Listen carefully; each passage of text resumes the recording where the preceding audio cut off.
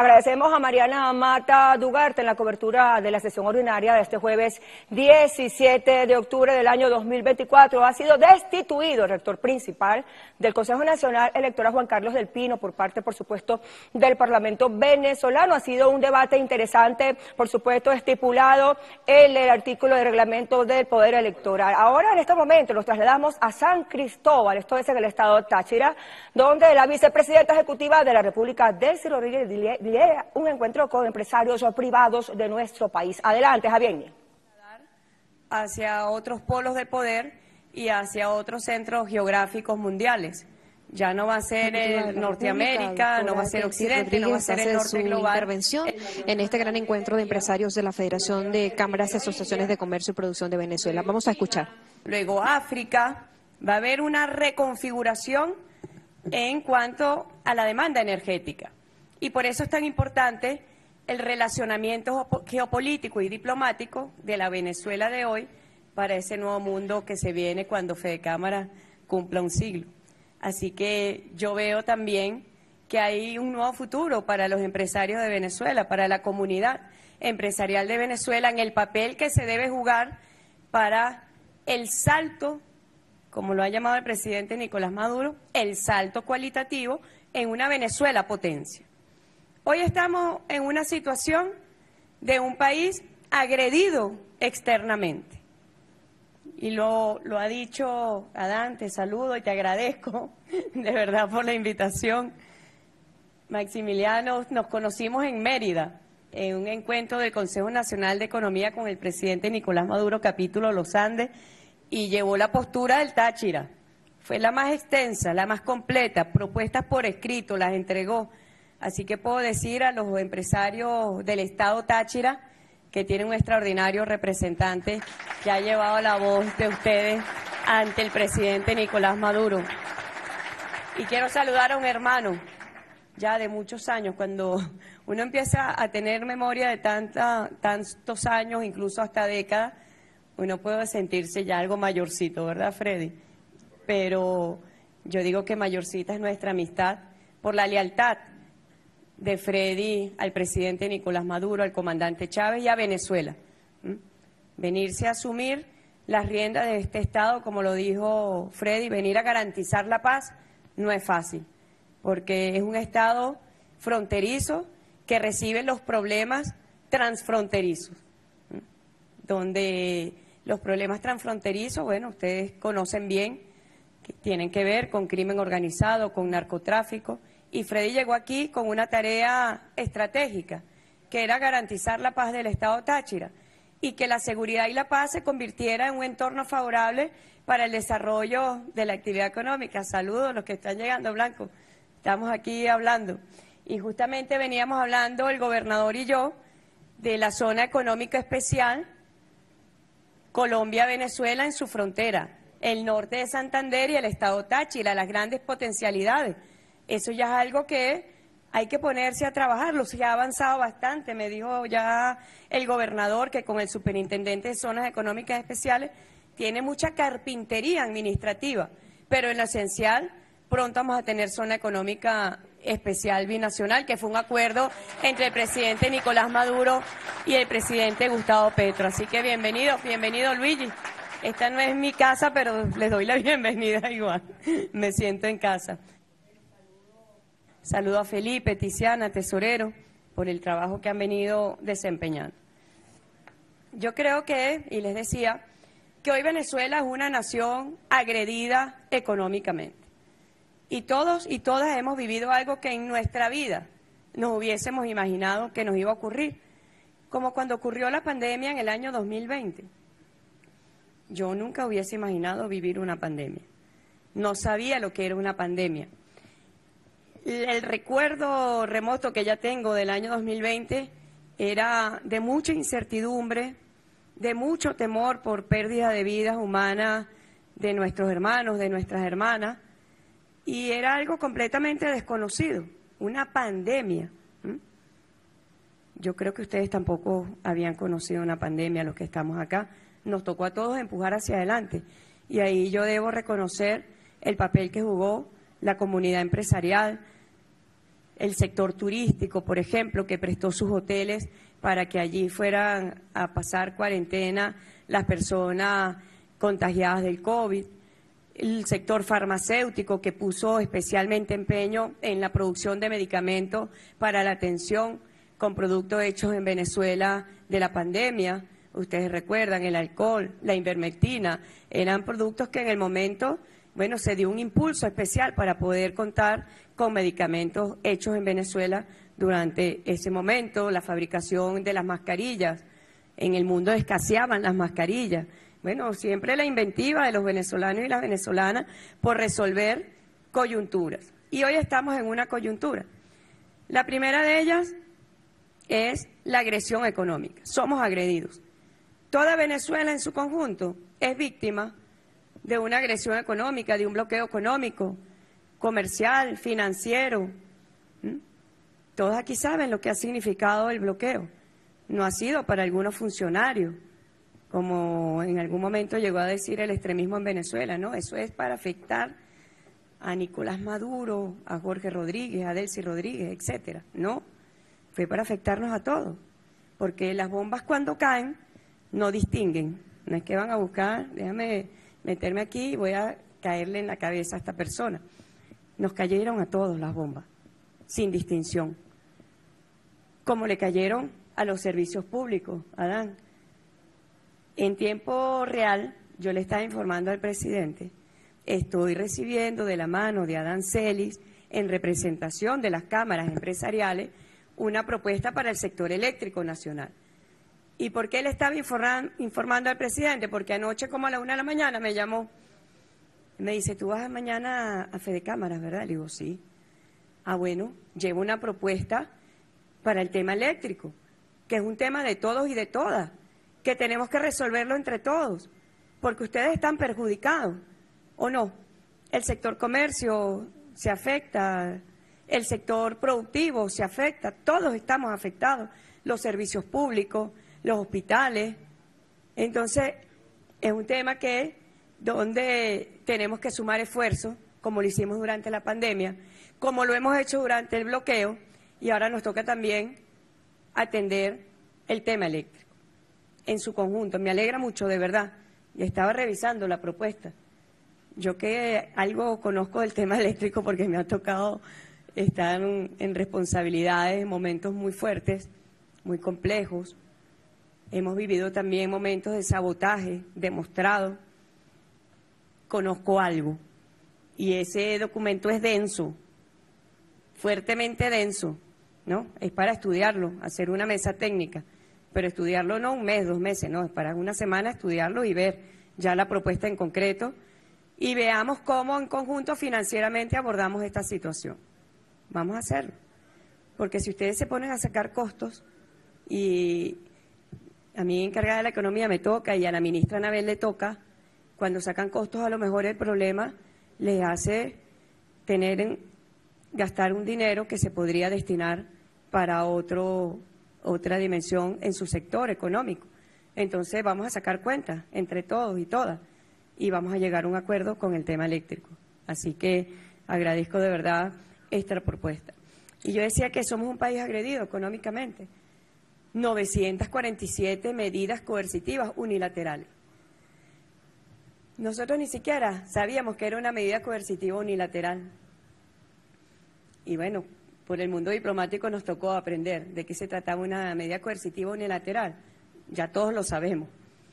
Es cuando de un país extranjero pretenden aplicar una jurisdicción que no corresponde a nuestra jurisdicción territorial, jurídica. Es la aplicación extraterritorial, ilegítima y lícita porque no son legales. Las medidas coercitivas unilaterales no son legales, deben saberlo. Las únicas sanciones legales son aquellas que impone el Consejo de Seguridad de las Naciones Unidas.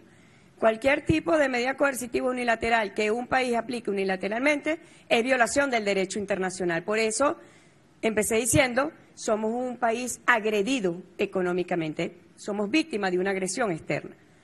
Y yo creo que, viendo lo que ha significado, por ejemplo, la pérdida, la afectación del Producto Interno Bruto entre el año 2015 y 2021, Venezuela perdió 642 mil millones de dólares. 642 mil millones de dólares. Imagínense ustedes lo que eso significa. Perdimos el 99% de nuestros ingresos en divisas. Y la familia trabajadora, los trabajadores del país, perdieron el 99% de sus ingresos. Porque el presupuesto de toda la nación se vio afectado. No fue la de las autoridades del país, como dicen los extremistas que todos los días piden más sanciones. Recientemente, hace apenas 15 días creo, están pidiendo que Chevron se vaya de Venezuela y tienen un lobby en los Estados Unidos para que Chevron deje a Venezuela. ¿A ustedes les parece eso correcto? ¿Creen que Venezuela se va a impactar o no se va a impactar? Todos nos vamos a impactar, todas nos vamos a impactar. Por eso nunca verán a ninguno, yo no voy a decir de nuestra tolda política, yo voy a decir de nuestro concepto, quienes militamos en un proyecto de país, que queremos lo mejor para Venezuela, un gran futuro para nuestro país, nunca nos verán pidiendo una sanción, nunca. Pidiendo que se vaya Chevron y haciendo lobby, protestas, hacen protestas en los Estados Unidos para que Chevron deje a Venezuela. Uno pensaría que, oye, eso no va a ocurrir. ¿Y si ocurre? Porque tienen capacidad de lobby en los Estados Unidos.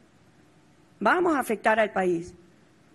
Y por eso el extremismo no puede ser una opción para Venezuela. Lo digo, yo tengo que hablar de política porque Adán también habló de política. Y estoy de acuerdo contigo, después del 28 al 30 había que pagar nómina. El 30 había un país y hay un país. Como ya nosotros nos visualizamos hacia el 2040, el 2050, la Venezuela potencia, ¿no? La Venezuela con sus reservas energéticas más grandes del planeta, participando en esa matriz energética mundial con un papel protagónico. Y estamos ahorita abriendo un nuevo rumbo, que es la exportación de gas. Ustedes lo verán muy pronto. Venezuela exportando su primera molécula de gas. Hasta ahora no habíamos, Carlos, no habíamos explotado el gas en Venezuela. Somos una potencia vamos a ser una potencia en gas y hoy tenemos transnacionales muy importantes participando en proyectos ya haciendo sus sísmicas. Usted, bueno, recientemente ya se fue un barco de British Petroleum en un proyecto que tenemos con el gobierno de Trinidad y Tobago. Recientemente ya hasta aquí llegó un barco de Shell en un proyecto que también tenemos de gas con Trinidad y Tobago, con el gobierno en el campo Dragón. British Petroleum tenemos en el campo Cocuina. Y son proyectos que en pocos meses convertirán a Venezuela en país exportador de gas. Entonces Venezuela, líder petrolero, y por eso la relevancia de poder recuperar la industria petrolera, que fue duramente y ha sido duramente golpeado por las sanciones ilícitas. PDVSA entre los años 2015 y 2021 perdió 232 mil millones de dólares en producción. Y ahorita estamos en un proceso de recuperación con esfuerzo propio, con empresas transnacionales, por cierto. Tenemos extraordinarias relaciones con Chevron y otras empresas energéticas estadounidenses y de Europa.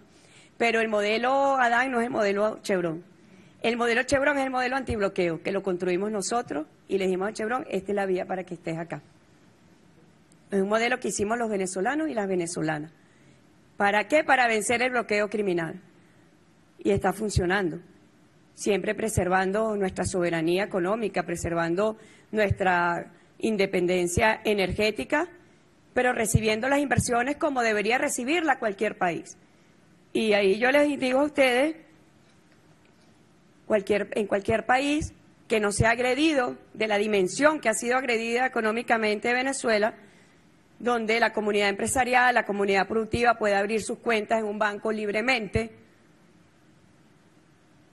Luna sabe a lo que me estoy refiriendo porque no tiene esta pesadilla, donde pueda transferir fondos libremente sin costos adicionales, que lo viven ustedes, donde pueda recibir financiamiento expedito desde el extranjero, tanto las empresas públicas como las privadas.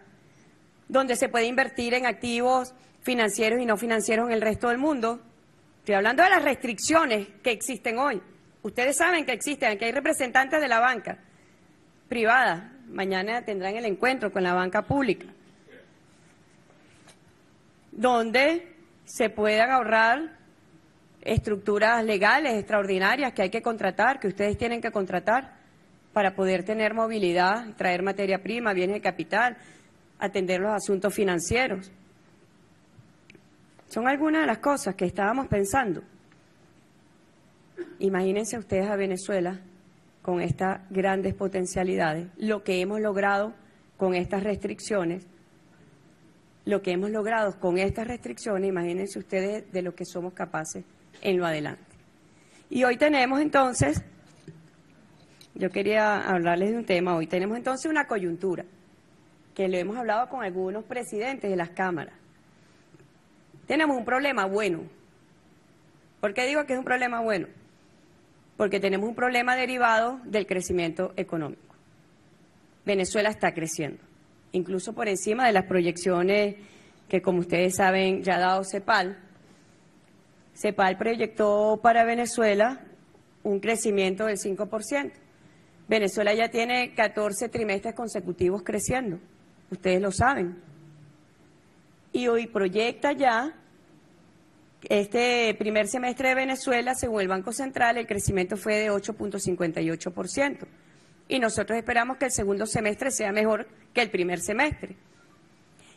¿Y por qué yo digo que es un problema bueno? Porque demanda más ¿Qué demanda el crecimiento? Más combustible, más gas, más electricidad. Y por eso hemos recibido de la mano de ustedes este proyecto para el sector eléctrico. Y son problemas que los tenemos que, que resolver en conjunto. Tenemos que trabajar en conjunto. Ahora yo digo, este es un problema bueno. Qué bueno que sea este. ¿Por qué? Porque bueno, es un problema derivado del crecimiento económico no es un problema derivado de otra situación, pero que sí sabemos es la consecuencia de las bombas que cayeron en los servicios públicos, de las bombas que cayeron en las instalaciones petroleras de PDVSA, de la imposibilidad de que Venezuela pueda directamente su industria comprar los repuestos donde los tenga que comprar. Son problemas originados en un bloqueo ilegítimo, irracional, injusto donde el extremismo venezolano aún sigue solicitando que se apliquen más sanciones contra Venezuela, como si no es suficiente el daño que ya se ha causado. Son incansables en el daño para causarle al país, incansables. Causan el problema y después van y le dicen a los trabajadores, te vamos a ayudar te vamos a ayudar porque nosotros somos los que realmente te queremos. Esa hipocresía debe estar fuera del ámbito de la economía venezolana, porque la economía venezolana, como lo dijo Freddy también, somos todos y todas los que estamos acá luchando por la producción, por los sectores económicos expandiéndose. Y yo veo la encuesta, la última encuesta de los empresarios, esta fuente con industria, segundo trimestre del 2000, del año pasado. ¿Cómo va a estar el país?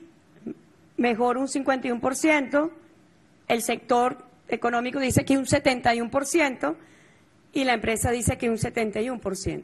Esta es la esperanza que nosotros no podemos defraudar, ni defraudarnos a nosotros, donde nosotros ya nos sentimos empoderados para nuestro futuro, para el futuro de nuestros hijos, de nuestras hijas y para el futuro de nuestro país. ¿Cuál es el futuro de nuestro país? No entregar a Venezuela a los grandes poderes transnacionales. Ayer lo hablábamos con los trabajadores de Pequibén, lo que ha sido la historia petrolera de Venezuela, un proceso de desnacionalización que lo detuvo Hugo Chávez Fría y que hoy, en defensa de ese legado, el presidente Nicolás Maduro dirige una resistencia victoriosa antibloqueo y ese es el modelo antibloqueo y todos estamos incursos en ese modelo antibloqueo. Superar las medidas coercitivas unilaterales con inventiva propia, con modelos propios, mecanismos propios, para seguir avanzando. No es una posición pesimista la que tenemos los venezolanos y las venezolanas. Es una postura de optimismo y de amor por Venezuela. Y ahí hay otro consenso. Nos une el rechazo a esta agresión económica, pero nos une también el amor por Venezuela, de quienes queremos construir un país, de quienes queremos un futuro para nuestros hijos, nuestras hijas, en paz, que no se imponga la guerra. Agarren ustedes un mapa mundi. Yo ahorita recién llegué de viaje. Agarren un mapa mundi y pónganse a ver dónde no hay conflicto armado.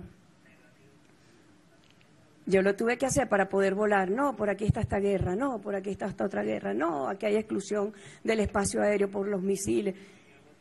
Un mundo en guerra. Un mundo sumido en la violencia y nosotros trabajando por la paz de nuestro país, que sea el modelo de la paz, de la democracia, de las bases, de las bases organizadas. No es una democracia, ya Venezuela superó la democracia, el modelo representativo de ejercicio del poder público. Ya hay gran participación de las bases populares, de las comunidades organizadas, de las, organizaciones con distintos tipos de intereses. Entonces yo le decía, bueno, tenemos una coyuntura que resolver. Y traje algunos datos, como a mí siempre me gusta compartir con ustedes, para que contextualicemos. Ya yo las compartí con varios presidentes, con Industria, Fede Cámara, Fede Industria, donde estuvimos viendo temas que hay que resolver, que atender, que se han derivado del crecimiento económico yo les traje aquí la variación del tipo de cambio oficial entre enero y septiembre.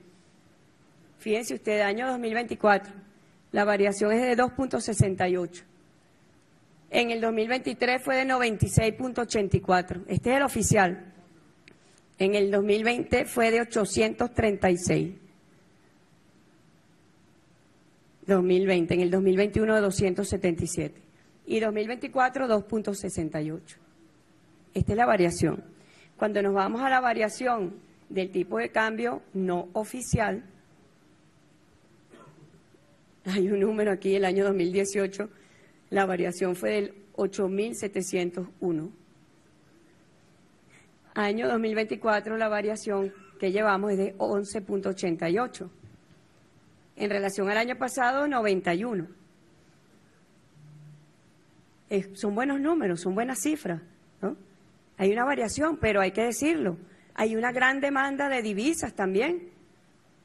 ¿Por qué? Porque el crecimiento requiere más divisas y nosotros lo vemos comparando importaciones año 2023, 2024. Hay más exigencia de divisas. Y allí el bloqueo sigue restringiendo el acceso de Venezuela a las divisas. Incluso los canales que existen en la banca privada ya se hacen insuficientes entonces, un problema que se deriva del crecimiento económico en la coyuntura de bloqueo criminal que hay contra el país. Y ahí tenemos que, entonces, reflexionar sobre el uso de las divisas. Lo hemos hablado. Yo les, traía un ejemplo. Y le mire, aquí lo que nos falta es tanta la demanda de divisas, por ejemplo, suntuarias, que cuando vayamos al partido de béisbol haya pinchos de carne guayú. ¿Sí?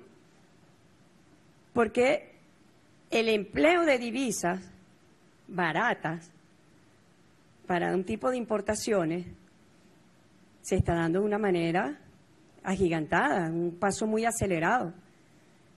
Y la mayor cantidad de aportes de divisas la da el sector privado en el mercado, ¿no es así, señores de la banca? El Estado aporta el 31% de la magnitud de las divisas. Entonces todos deberíamos estar preocupados en cómo se usan esas divisas, en las importaciones. Es un esquema que está en este momento revisando el Ministerio de Economía, Finanzas y Comercio Exterior.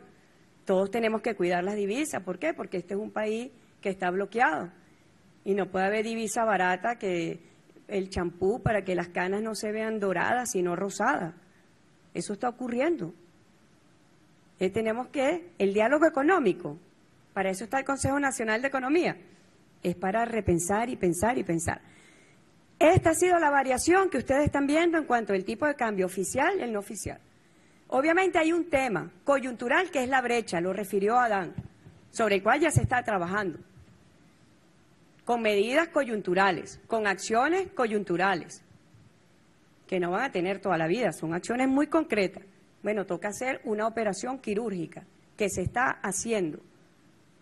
¿Para qué? Para reducir la brecha, porque esa brecha como está genera todo tipo de distorsiones. Vienen los aprovechadores que quieren hacer guerra económica al gobierno y marcan cualquier precio de la divisa. Ese precio de la divisa que se ve en las páginas no es el no oficial, ese no es. No es. Pero hay un aprovechamiento político. Luego viene el aprovechamiento financiero, quienes hacen ganancias de, de esa brecha. Y todos. Ver cómo hacen ganancias, cómo hacen una actividad. Aquí nos ocurrió en el pasado con productos subsidiados de alimentos, de medicamentos. Había lo que se llamaba, si ustedes recuerdan, el bachaquerismo, años 2015, de 16, el bachaquerismo. Y había mucho contrabando, Carlos, de extracción hacia países vecinos, hacia el Caribe.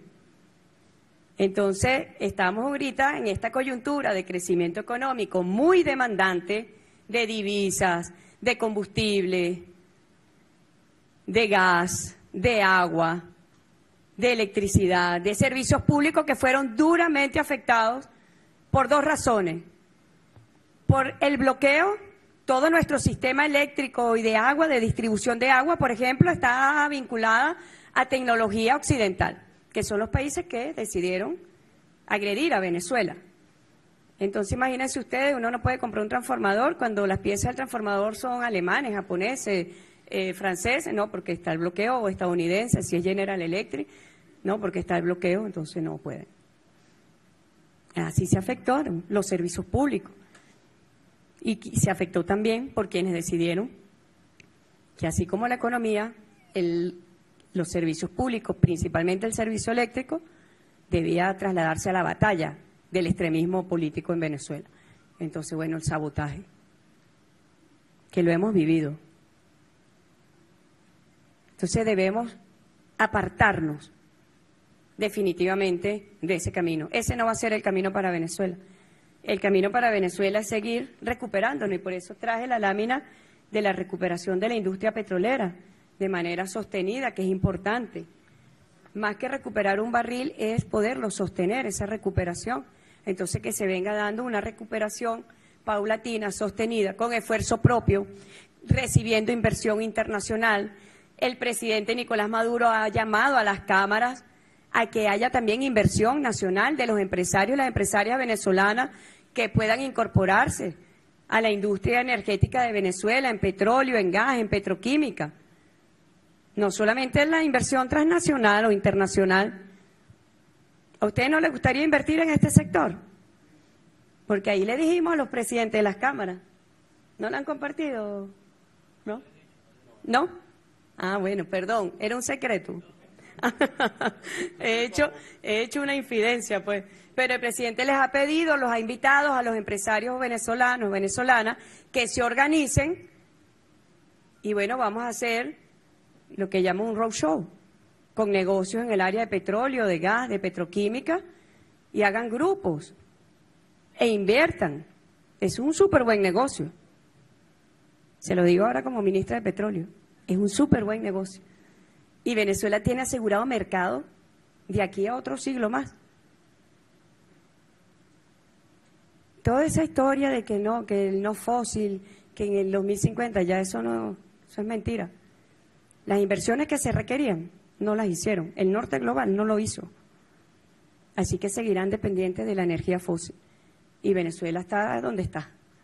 ¿Mm? Venezuela está donde está. Entonces, un extraordinario negocio. Yo aprovecho esta asamblea de Fede Cámara para ratificar la invitación del presidente a que ustedes se incorporen en la inversión para el sector petróleo, gas, petroquímica. Ayer veíamos el sector petroquímico en los próximos nueve años el mercado, va a crecer un 72%. El que invierte allí es dinero seguro, señores de la banca. Es dinero seguro. Claro. inviertan, participen. Es una invitación expresa al sector venezolano. Luego, lo que tiene que ver con la recaudación tributaria, fíjense, entre enero y septiembre de este año, el crecimiento ha sido del 143% en relación al año pasado. ¿Y los ingresos del Estado para dónde van? Para atender las necesidades fundamentales de la población, alimentación, salud, ingreso a los trabajadores. Ahí tenemos diferencia con lo que propuso Adán, del no futuro para los trabajadores. Pero las diferencias las hablamos y las discutimos. No podemos no pensar en el futuro de los trabajadores y de su familia. No podemos no pensar en eso. Esa es la postura nuestra. Y ese es el tema de las prestaciones sociales. Vamos a hablarlo con nombre y apellido. No podemos decir, no, eliminadas, no. ¿Y el futuro? El futuro es importante, porque nosotros estamos trabajando para el futuro de todos y de todas. Luego, bueno, se derrotó el desabastecimiento, ustedes están viendo allí las cifras. Perdón, estas diferencias las tenemos siempre. Las discutimos, las hablamos. Eso es lo importante, que exista el espacio para discutirlo.